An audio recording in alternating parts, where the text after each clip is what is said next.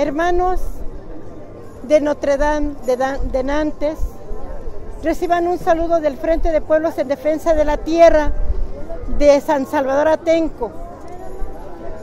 En febrero tuve la oportunidad de estar con ustedes.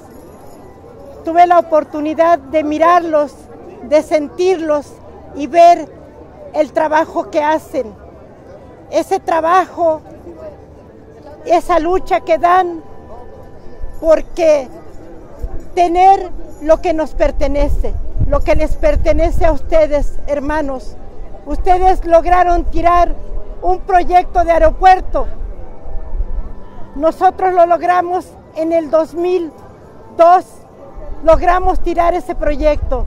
Sin embargo, los gobiernos, los señores del dinero, insistieron en continuar y no les importa no les importan las vidas humanas, no les importa la vida del campo.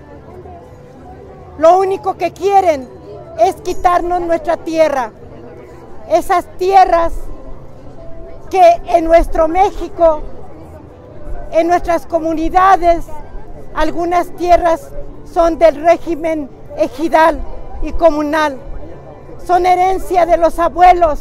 Y hoy decimos son patrimonio para nuestras futuras generaciones. Y nos enseñaron bajo los principios del respeto, de compartir, de dar al que lo necesita. Y es por eso, hermanos, que nos identificamos, porque ustedes también luchan por un derecho y los derechos del pueblo tienen que ser respetados. Ustedes lograron una victoria. También fueron reprimidos brutalmente. Por eso decimos que en México y en Francia existen las mismas prácticas para reprimir, para, para no permitir que ejerzamos nuestros derechos. Pero no nos vencemos, compañeros. Aquí estamos. Aquí estamos luchando. Seguimos en lo mismo, nuestra demanda es la misma, es legítima. No queremos el aeropuerto, queremos nuestras tierras para seguirlas trabajando, para seguirlas cultivando. No queremos la propiedad privada, porque en México no hay el apoyo para el campo. Es por eso que no, nosotros queremos seguir trabajando como campesinos, como campesinas. En un principio para la defensa de la no construcción de este aeropuerto, inicia un movimiento social por allá de 2001 en el municipio de Atenco, en el Estado de México, en una de las entidades federativas, la cual lleva una organización social para echar abajo un decreto en razón de que este aeropuerto lo quieren construir o su origen data de una expropiación por parte del gobierno panista de Vicente Fox Quesada. Ellos, por la fortaleza que adquieren en ese momento, el furor en contra de esta situación de despojo, de violaciones, de, de muerte, de asesinatos por ese gobierno, bueno, pues echan abajo este, este decreto expropiatorio en donde quieren pagar una cantidad irrisoria por, por los ejidos.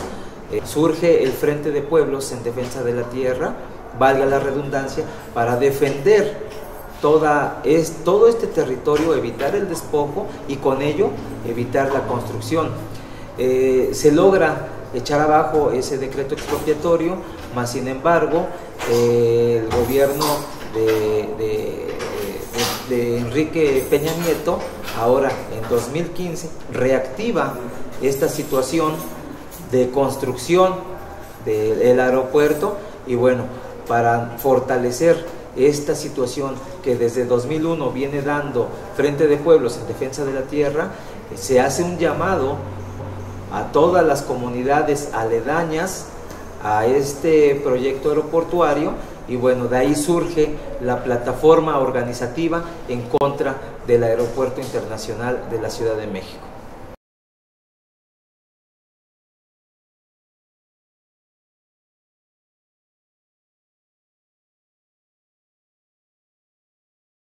Con la llegada de Peña Nieto también representa la llegada pues eh, de un grupo de intereses que se encuentran en el Estado de México, concretamente en el área donde piensan construir el aeropuerto, y no solamente plantean construir el aeropuerto, plantean también construir una llamada aerotrópoli, es decir, prácticamente una nueva ciudad, una nueva ciudad eh, de élite para las élites de este, de este país y que eh, eh, se extiende más allá incluso del proyecto original de aeropuerto que existía en el año, en el año 2001. Entonces, el, aeropuerto de muerte, que es como nosotros le llamamos, que es un gran proyecto financiero, que está en manos del priismo, que está en manos de la derecha eh, histórica y más sangrienta que hemos conocido en nuestro país, es los que retoman el aeropuerto, pero incluso dándole dimensiones todavía más grandes a este monstruo. Eh, a mí me parece muy importante señalar que este proyecto que lleva eh, la forma de un aeropuerto en realidad es un gran proyecto financiero. Es un gran proyecto financiero donde está involucrado el magnate más importante de nuestro país, que es Carlos Slim, el cual concentra bajo el nombre de diferentes empresas el 80% de los contratos de construcción. Eh, entonces, eh, nosotros pensamos que en realidad, pues Carlos Slim no se dedica a hacer eh, pistas de aviones. Slim se dedica como un banquero a hacer grandes ganancias a costa de la explotación, la depredación eh, y el empobrecimiento masivo de todo nuestro país. Entonces pensamos que el aeropuerto en realidad no tiene, tiene solamente la forma de, pistas de aterrizaje, pero en el fondo se trata de un gran proyecto financiero, de un gran proyecto económico, donde están involucrados los bancos nacionales, los bancos internacionales, las cámaras empresariales más importantes de nuestro país, y lo que ellos buscan con este aeropuerto es seguir fomentando la especulación con la tierra, con tierras que hasta ahora mismo han sido tierras ancestralmente dedicadas a la preservación de la naturaleza, a mantener un equilibrio ecológico entre una de las ciudades más grandes y contaminadas del mundo, como es la Ciudad de México, y ahora con estas tierras que de alguna manera mitigaban las inundaciones, mitigaban el cambio, el propio cambio climático, que, que, mitigaban eh, los niveles de contaminación eh, que se generan en la ciudad, pues ahora esta área vuelve a ser presa de la especulación financiera de los grandes capitales nacionales e internacionales.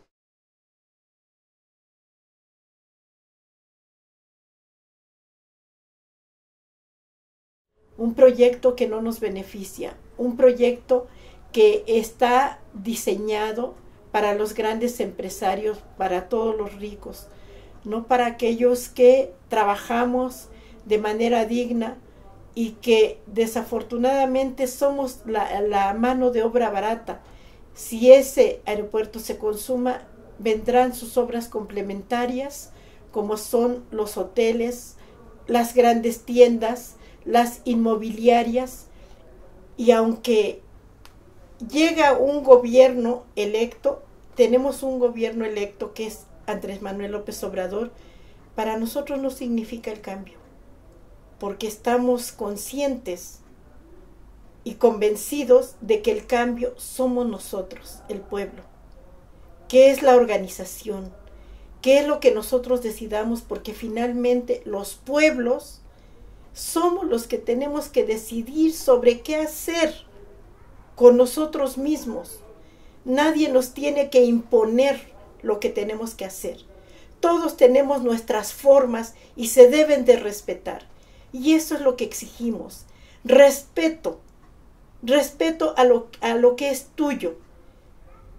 Respeto a tus cerros sagrados. Respeto a la vida. Luchamos por la tierra. Luchamos por el agua. Por el territorio. Y que todo eso solamente se reduce a una palabra, es la vida. La vida que tenemos en México, la vida que hay en Europa, la vida que hay en todos lados. Es un mismo cielo el que nos cobija a todos. No se puede consumar este proyecto cuando no se consulta a las comunidades. Ahora dicen una consulta cuando ya cuando ya hubo muertos, cuando ya hubo torturados, cuando ya hubo encarcelados y violados.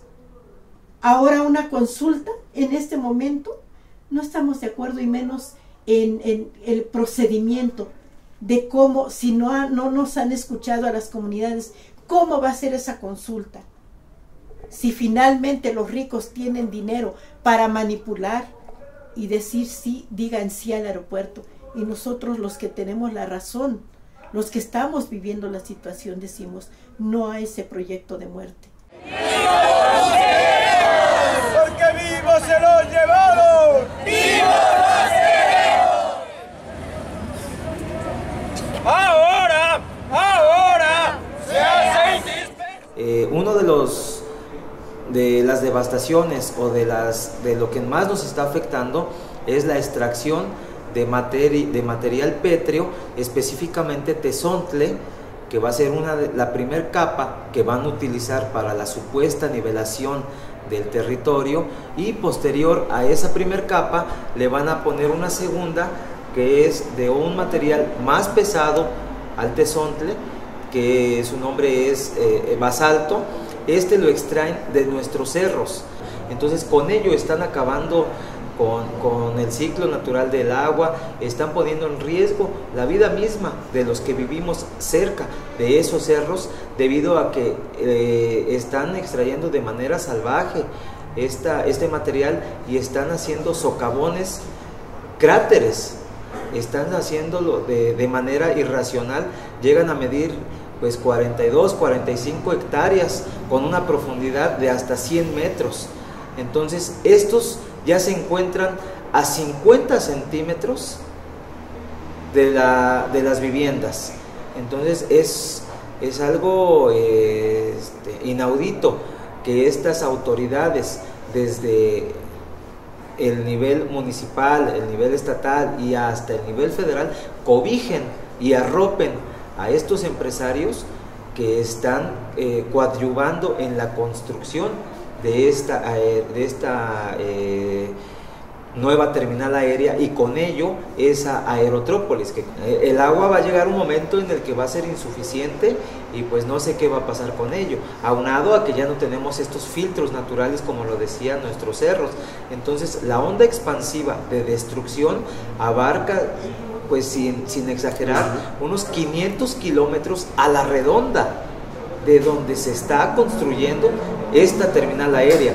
Entonces ha sido manipulada esta información de tal manera que no, no, no se da la relevancia que se le tendría que dar a toda esta situación. Entonces los medios de comunicación están a, a la pues manipulados a manera de que no den a saber las cosas para que ellos encaminar a su dichosa consulta que bueno, tenía que haber sido una consulta, siempre tiene que ser libre, libre, previa e informada, y de esos tres rubros no, ninguno se cumplió, ¿no? Entonces las, las están utilizando para que ellos tengan por ahí algo favorable. Pero nosotros nos estamos dando la tarea de difundir dentro de nuestras posibilidades, haciendo conciencia en la gente para que eh, pues esa consulta la echemos abajo y con ello la construcción del nuevo aeropuerto. ¡La vive, vive! ¡La lucha sigue, sigue! ¡La vive, vive! ¡La lucha sigue, sigue! ¡La lucha sigue, sigue! Y ahora, en esta etapa, compañeros, Estamos viviendo una situación difícil y así como en algún momento que les dirigí unas, unas palabras cuando estuve junto de ustedes, les decimos que requerimos de su apoyo, de su apoyo moral, de su apoyo económico. Estamos llevando una lucha también jurídica, aunque la, la ley no se respeta tampoco en México hemos logrado suspensiones definitivas y no pasa nada. Solamente en México no pasa nada, porque tenemos autoridades corruptas, esas que representan a los pueblos, que dicen representar a los pueblos, son corruptos. Y por eso lo necesitamos. Necesitamos que ustedes hagan una campaña internacional donde en todos los países donde, donde ustedes van a llegar en ese encuentro intergaláctico.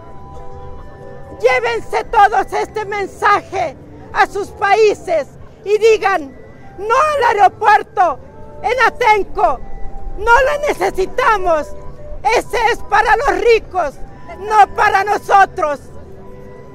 Eso es lo que ustedes pueden hacer, hermanos.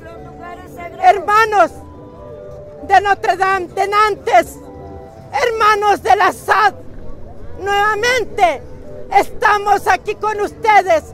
Hoy desde México les decimos nuestra lucha.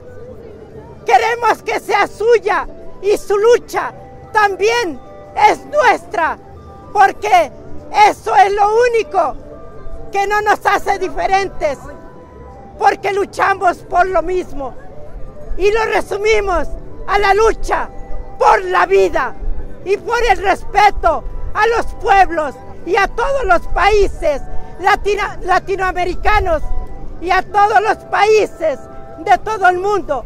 Y ni un paso atrás. Vamos a seguir luchando. Y cuando decimos que hasta con nuestra vida, porque así es, hermanos, porque la damos día con día en cada paso que, que avanzamos, en cada acompañamiento con nuestros hermanos de lucha. Y porque vivos se los llevaron, vivos los queremos. Porque vivos se los llevaron, vivos los queremos. Atenco vive, Atenco vive. Ni un paso atrás, compañeros. Esperamos una respuesta pronto de ustedes, hermanos nuestros. Hasta la victoria siempre da la victoria. Ayotzi vive. La lucha sigue. Ayotzi vive. La lucha sigue. La lucha sigue, sigue.